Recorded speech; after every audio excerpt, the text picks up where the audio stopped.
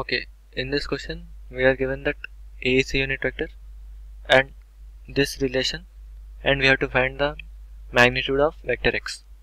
Uh, we know that uh, the dot product is uh, distributive. So uh, what I'm going to do is I'll split this into two parts. So I can write x minus a dot x uh, plus x minus a dot a. It is equal to 8 right? Because dot product is distributive.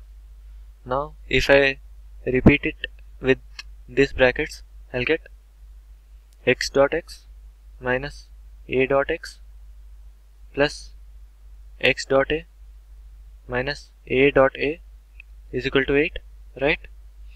Now let us write the expressions for uh, each one of them.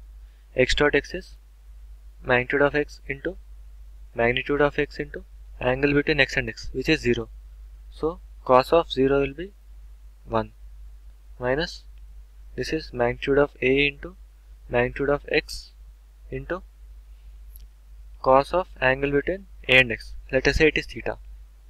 Plus magnitude of a into sorry magnitude of x into magnitude of a into angle between x and a which is again theta. So cos theta minus magnitude of a into magnitude of a into angle between a and a is 0 so cos of 0 will be 1 it is equal to 8 so now here we can see that uh, this term and this term are identical. So they will get cancelled. And we also know that a is a unit vector. So magnitude of a is 1